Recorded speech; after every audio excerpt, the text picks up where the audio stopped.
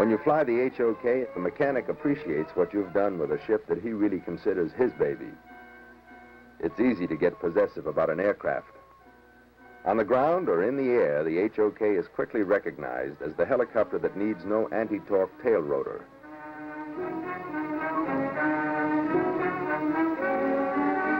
Essentially, this is the same design, the same thinking that established a record of success for the Kaman K-225 civilian utility model and the HTK Navy trainer.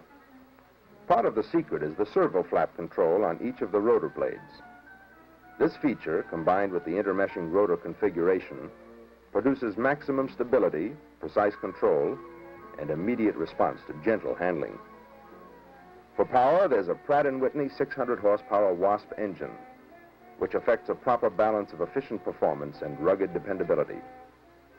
Any mechanic recognizes that compactness and accessibility are part of the distinctive qualities of the HOK.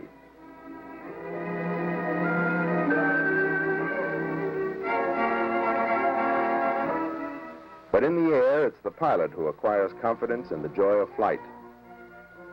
It's a confidence born of experience, a thrill that comes when you have a responsive machine at your fingertips. The controls become extensions of your arms and legs.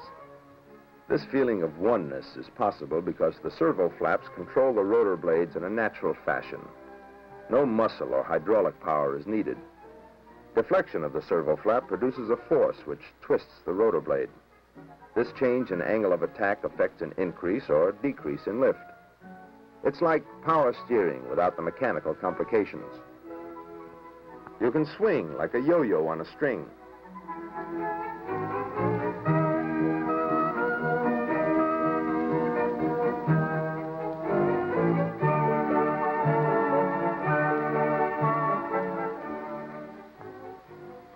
Hover without movement.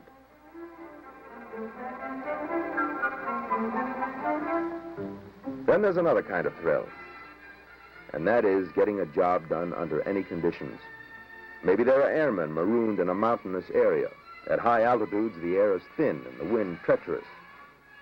The HOK is specifically designed and equipped to make the rescue. Landings and takeoffs at high altitudes are routine to this workhorse of the sky. Positive, easy control and wide visibility allow the pilot to concentrate on the job at hand. Once he spots the clearing, it's get in and get out.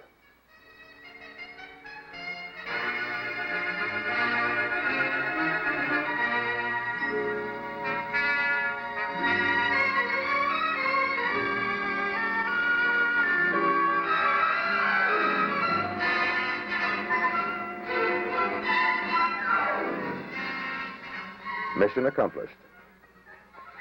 No two missions are exactly alike. The HOK is prepared for any emergency, any terrain. Proof of its ability to cope with extreme conditions can be seen in an area covered with loose sand. The rotors throw up a cloud of gritty dust that reduces visibility almost to zero. Conditions are tough, but performance is not impaired. Desert sands present one obstacle, but the sea presents another.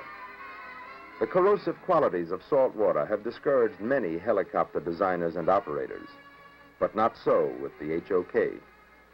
Even though the rotors create spray, a freshwater washdown will be all that's needed to maintain the HOK fit for action. Action can mean many tasks. As a utility transport, the aircraft is well adapted to carry personnel, in addition to the pilot, four men fit easily into the roomy cabin. This is not a clumsy, crowded journey. The doors open wide so that the passengers can quickly be seated. With five husky men in the ship, there's still room for air cargo. The complete flexibility of the HOK is a source of delight, even to veteran pilots. Conversion to an aerial ambulance is quickly and easily accomplished. The nose bubble door on the port side opens wide for complete freedom of movement. With the co-pilot seat removed, it's a simple matter to install two litters, one above the other. Top litter swings out and down. Then the whole assembly is rocked back up into position and locked securely. Once that is firmly in place, the lower litter slides in just below.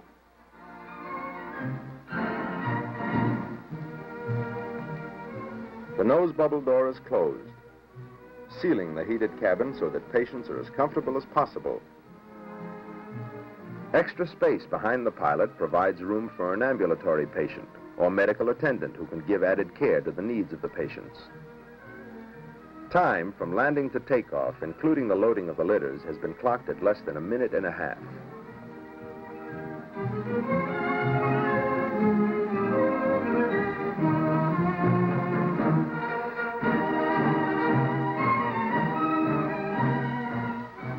The extreme versatility of the HOK can be shown in many ways.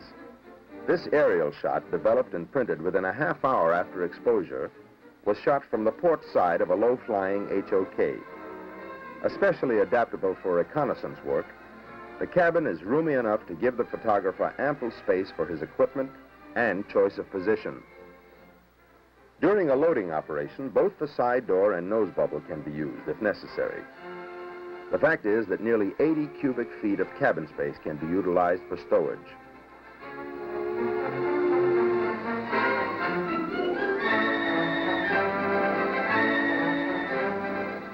While protected cargo is important in many operations, the HOK is not limited to the amount of cargo that fits inside the cabin, not by a long shot. Quite often, the helicopter is operated as an aerial crane. Payload on this type of lift is nearly a ton. Five full drums of fuel can be carried with all the ease of a forklift. The cargo hook can be attached to the aircraft in a matter of minutes. The hook remains secure during flight. A great percentage of military cargo is carried in this manner. It is, of course, the fastest type of aerial transfer. At the receiving end, the pilot selects any of three methods for releasing the load. The first and quickest is the automatic release. The hook is set to release the load upon contact with the ground.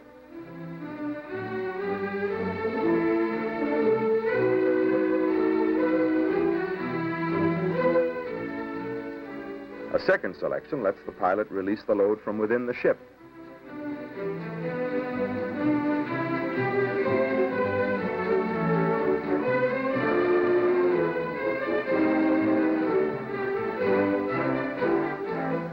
An alternate setting leaves the decision up to the ground personnel.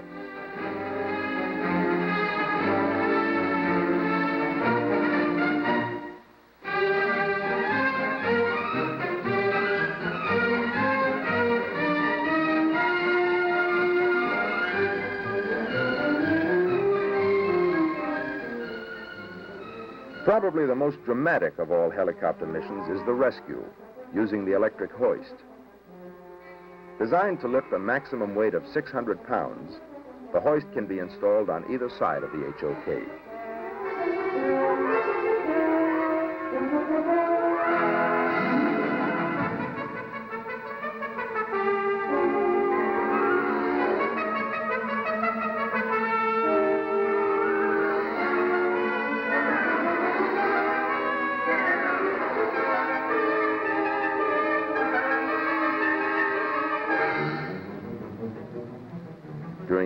Floods, many persons were picked up from rooftops, swollen streams, and other locations where landing was impossible.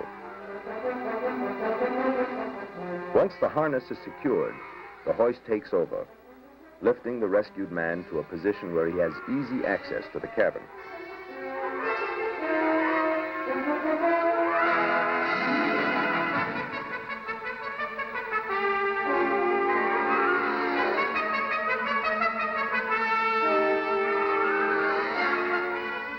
Such is the role of the HOK, ever watchful, ever ready.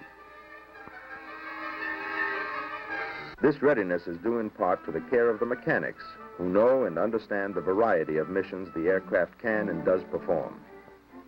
They'll tell you that maintenance on the HOK is not difficult or complicated. This is a ship that flies. The compactness and accessibility of all parts makes a thorough post-flight check possible in just a few minutes. Just as soon as the rotor blades stop turning, he's ready to go to work.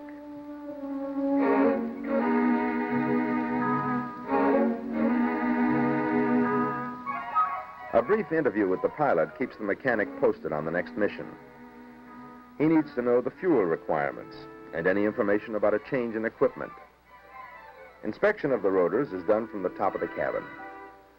While they are given the once-over by the crew chief, an assistant checks the gas and oil. The HOK has been engineered so that servicing the ship is possible in the short time that it takes the pilot to get his clearance for flight.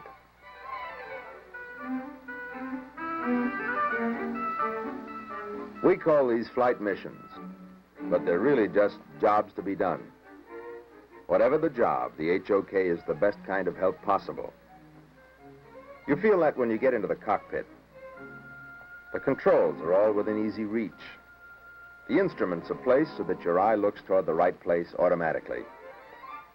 Maximum visibility has been provided, so you're ready.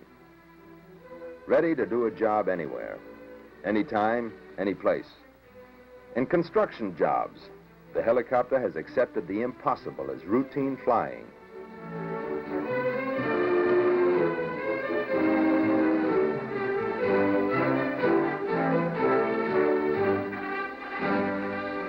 The HOK has withstood the wind and salt of the sea.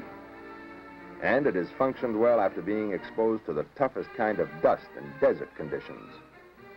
Day and night, freezing cold and tropical heat and rain never put a halt to performance. Rugged terrain is an added challenge to the HOK, a challenge that has always been met.